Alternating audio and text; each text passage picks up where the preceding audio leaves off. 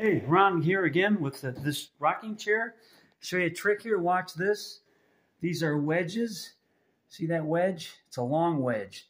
You stand your your uh, poplar or oak, whatever, stand it like that on the bandsaw and go whoop towards the blade. Stick it in there like that.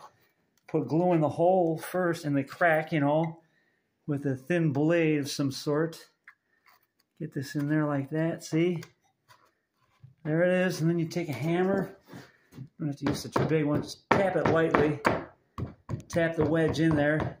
You'll never clamp this crack. I put a bar clamp on there. You cannot. I worked in the cabinet shop 26 years. You cannot clamp this crack. It's a stress crack. It, it's like that forever. So that's what you have to do. Patch it with wedges. Have a nice day, folks. Like and subscribe if you do. See ya. Bye-bye.